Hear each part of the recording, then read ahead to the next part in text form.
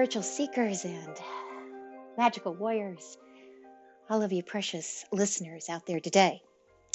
This is Age of the Mage, episode 12, and it's going to be kind of a short one. I'd like to revisit who this podcast is really for and what we'll be doing in the podcast together.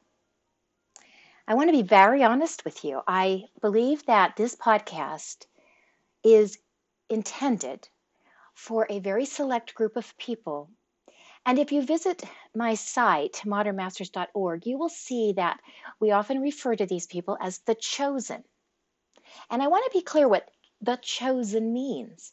It is not referring to anyone that is better or more special than someone else. It is not about superiority versus inferiority. It is simply referring to a group of self selected people. By this I mean people who resonate to certain ideas and identify themselves as one of the quote chosen based on their resonance to these ideas, based on their self evaluation of whether or not they fit into this group.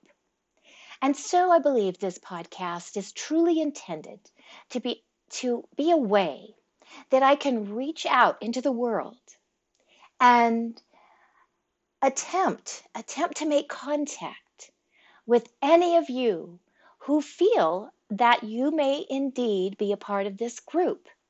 And yet without a means to communicate with you or without a way for us to network and co- connect with one another we all remain out on our own uh, in the world, in our communities, in our families, in our social groups, maybe even feeling pretty isolated sometimes because we are the outliers. And we are a minority when you consider the entire world population and how small and select this group really is, it can be difficult to make an honest, deep connection with someone living nearby or someone close to you.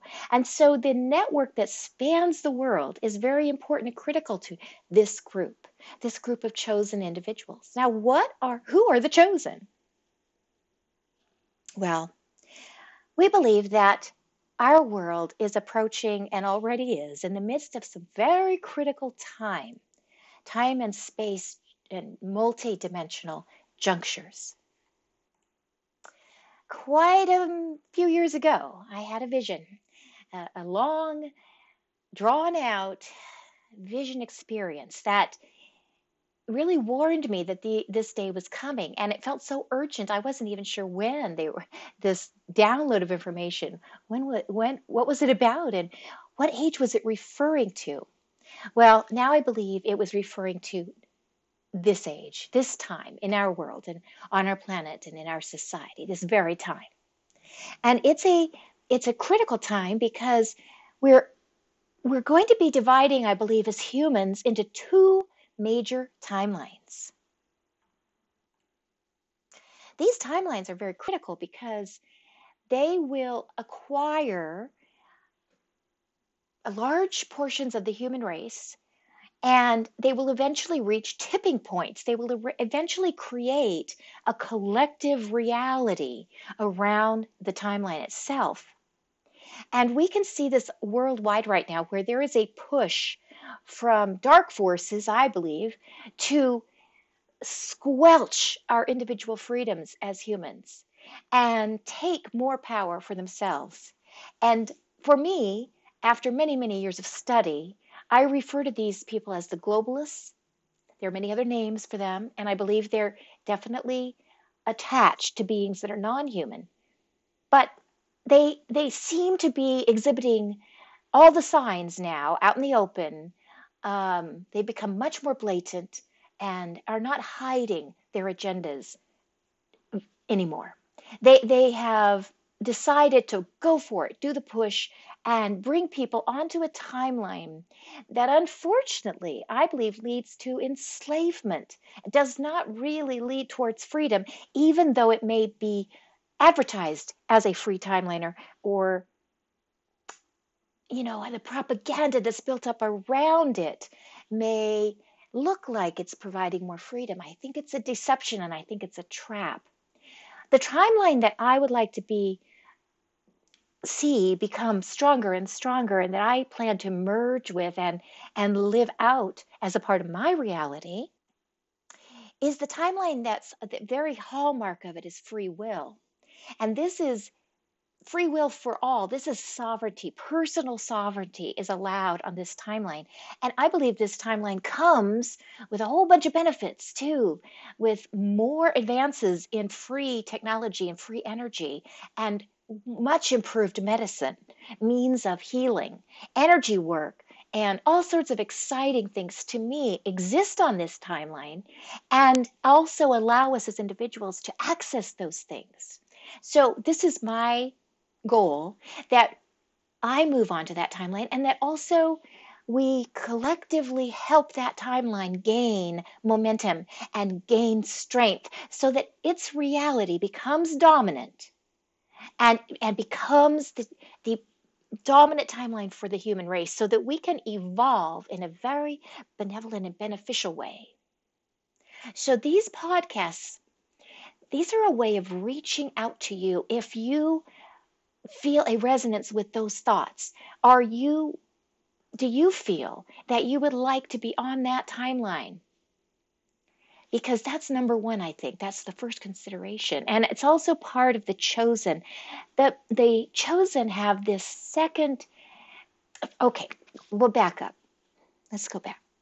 So when we use the word chosen it also means that there is a natural inclination in these people and perhaps you are one of these people. There's a natural tendency to cherish and value invisible realms. Now, that can occur in different ways.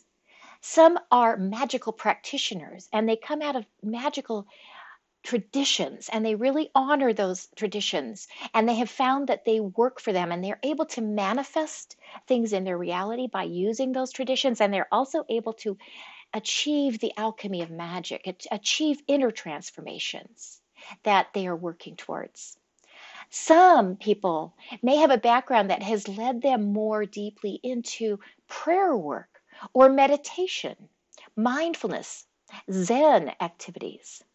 So, again, it's about reaching your connection to your soul, your spirit, your soul, achieving a, a communing, the ability to bring all that invisible world into your visible in 3D space through different means.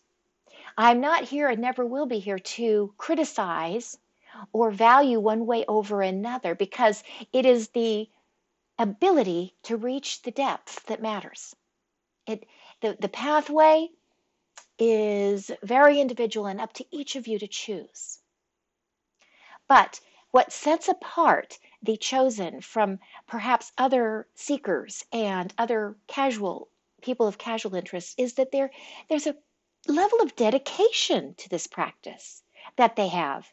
They they feel fueled and feel exuberant when they know when they're in a zone. I'll call it a magical zone or a spiritual space.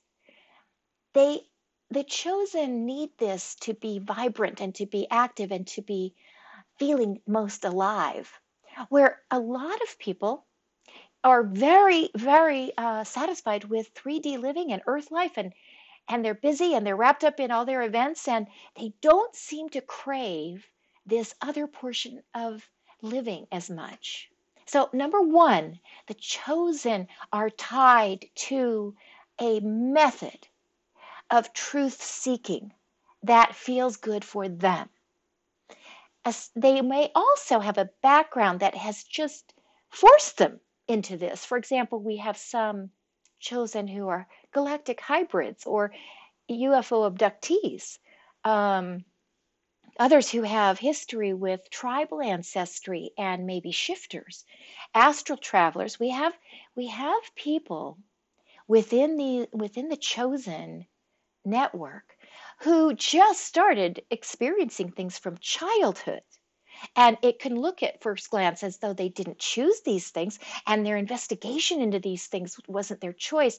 But I do believe the soul has chosen, even though the memory of that choice might be, mm, you know, blinded by the veils that fall when we come into this domain. So there's different ways the people come to the to their to honor the spirit and to honor the invisible and to investigate it. Different paths lead people to there. So again, not only will they have paths very different that bring them to respect and honor and investigate and uh, be very curious about mystical realms, but they will have paths leading out from that investigation too that are very specific and individual to their needs and resonate with their individual gifts. All right, so there is this bond, there is this affinity in the chosen for all things spiritual, all things magical, even though they vary. All right. What's the what's the second most common feature of someone who would identify as one of the chosen? Well, for us, and how we interpret this, it has the service to others factor. So, in other words, we all love our personal journeys, and we're very, those are very important to us, as they should be. And we focus on our personal progress, and we we have desires and we have emotions that rise up that are very specific to us and our needs and our wants, as it should be. But the second level, the, the expanded um, feelings that we find arising in the chosen are those feelings that, all right, I know I can do this for myself now. How can I help someone else with this? How can I reach out now if I'm a good healer and I have managed to heal a few of my pets or or I'm noticing that I'm healing rather rapidly, my body heals rather fast and I don't get sick very often and and I've I've explored this and I'm feeling healing energy within my body. Could I help that person next door? Could I help my mother feel better? Could I help my sister?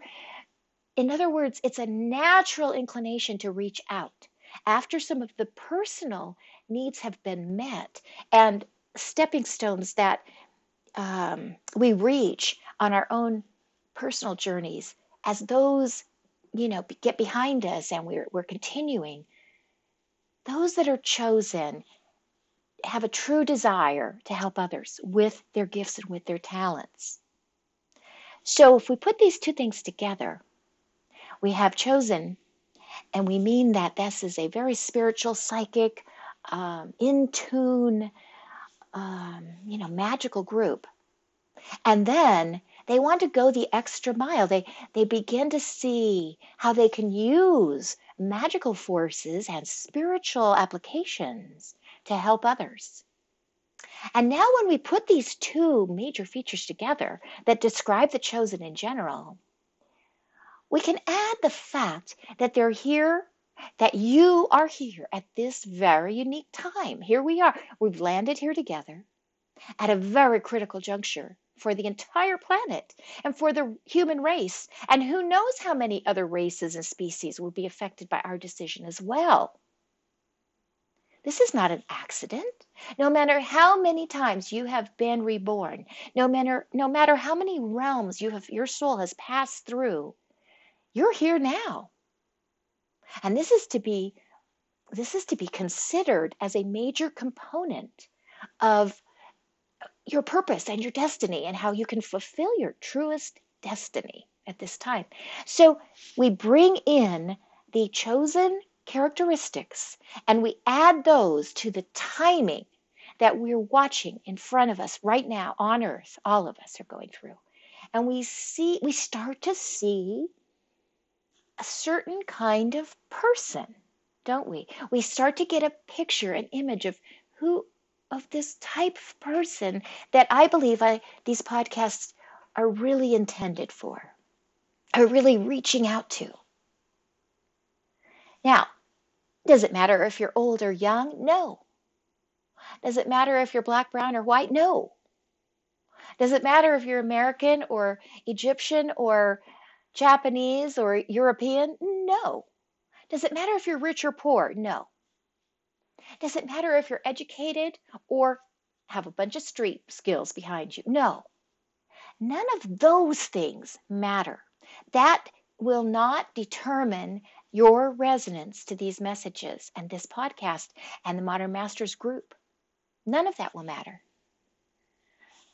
This resonance is based on spirit. This is based on the unseen. This is based on those things that travel through etheric networks. This is based on your calling. What is it? What is your calling? What how it ties into your destiny? What what is it? That's what this is based on. These podcasts are a way to invite you to take a journey with me and with others that will be listening at the same time. And that is an invisible etheric network that is building up energy. And that we can someday do something with that energy that has arisen in our network of little nodes of light. And so, throughout the podcast, on a practical note, I'm here to uplift this network and to offer a space and a place of resonance to all of the chosen throughout the world. Not every message and not every podcast will pertain to you directly because we might cover subjects that just aren't in your field of interest. Understandable.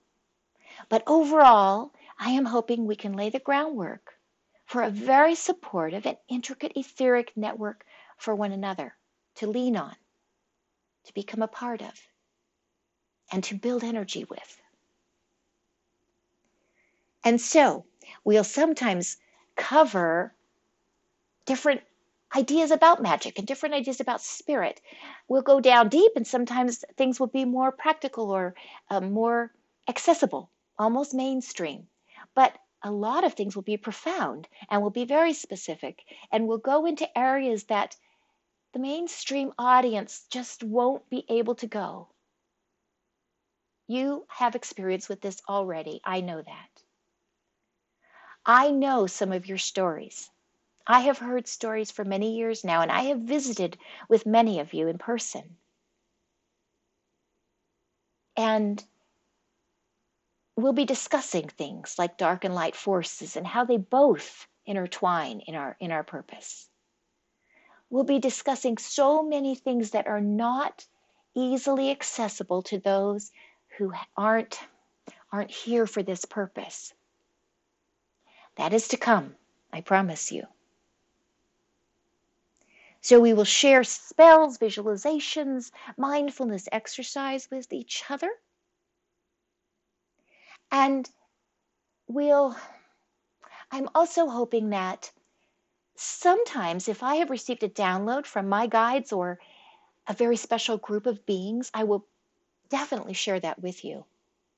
But even more often, I feel that my purpose is more to uplift you and encourage you and bring vibrations directly to you that allow you to get your own inspiration. You have your answers. I can only offer suggestions or some inspiration from time to time and maybe uphold a certain vibration of a certain frequency for you.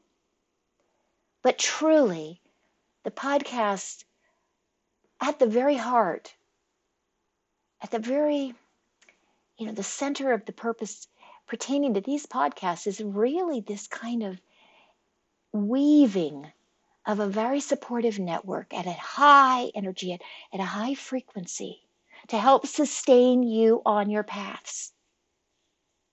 I do hope this message makes sense. I know that it's a, a unique type of message, and I know that I am today reaching out with this message to very certain individuals out there. Now, do you have to be an expert already in some magical practice? Do you need a whole history behind you of accurate psychic interpretations? No. Again, this message is not about 3D proof in any way whatsoever. This,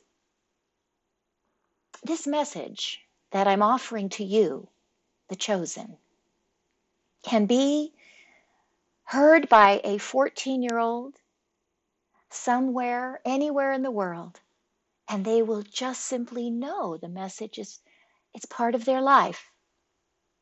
And it can reach a grandmother in another part of the world who perhaps isn't even that active out in society for some reason, maybe a health reason. But her spiritual strength is going strong and burning bright, and she recognizes the message being for her. This is a heart to heart message. This is this message travels on its own etheric energy plane. And I suppose that about wraps it up for today. I, I think I just felt the need to help to offer some more clarification about this age of the mage. And I truly believe it is. It's your age, it's your time to shine. Mages, sages, spiritual warriors, astral travelers. No matter how far you go, the star seeds, the galactic hybrids, the intuitives, the healers, whatever category you see yourself in, whatever experiences lend magic, paranormal, supernatural experience to your life, that doesn't matter. What matters is the part we share. I thank you for being here. I thank you for listening. So much more to come. I honor each and every one of you in your paths. And I hope you will hear this invitation and I hope it will make at least a little bit of sense. It's hard when my heart is talking instead of my brain. It doesn't always make as much sense as I would hope. I wish you all the best. Take care, and we'll be back soon. Bye for now.